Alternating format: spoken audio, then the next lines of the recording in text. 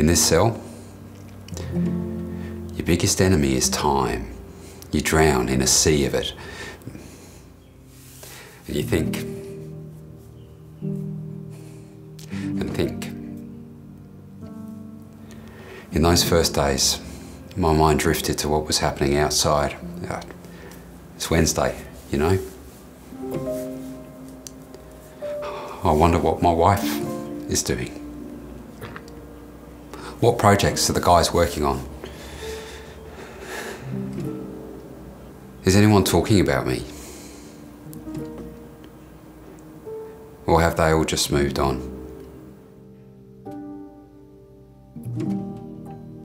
The remorse and regret are constant companions.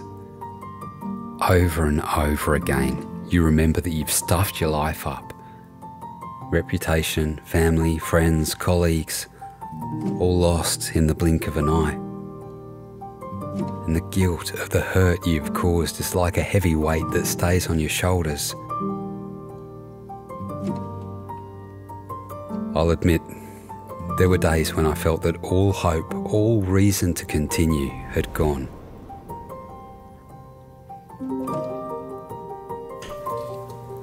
I'll never forget the first time I was visited by Greg. I remember thinking it was strange that someone I'd never met wanted to come and talk to me. Up until then, I'd gotten pretty used to people wanting to distance themselves from me. In prison, you do everything you can not to draw attention to yourself. Don't tell jokes. Don't tell your story. Don't look people in the eye. But here, in these chairs, I could talk.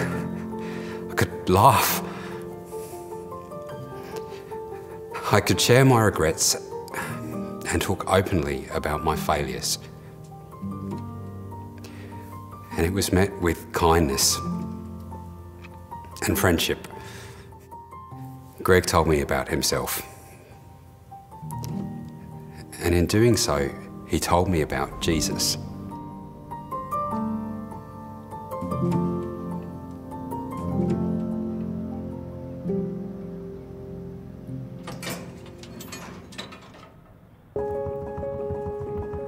I later learnt that close to a thousand volunteers, men and women, are visiting prisoners, running programs, playing sports, and leading Bible studies through Prison Fellowship.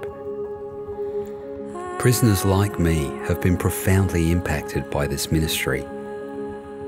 Through it, we've grown in character. We've taken responsibility. We've built self control and we've expressed repentance. We've come to understand grace and forgiveness.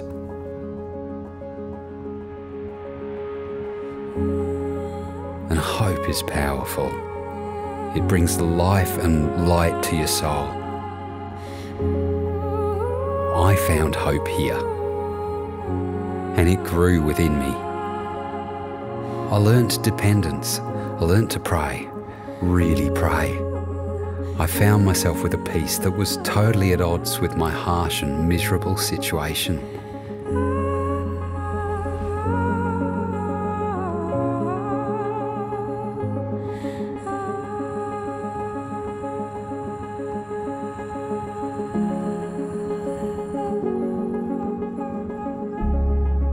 The gap between prison and the real world beyond the gates can be very daunting. You're asking the big questions again. How can I stay out for good this time? Is there anyone who can help me? Will I get a job? Can I restore those relationships? To have Greg and the others from Prison Fellowship to be there to help me bridge that gap was everything.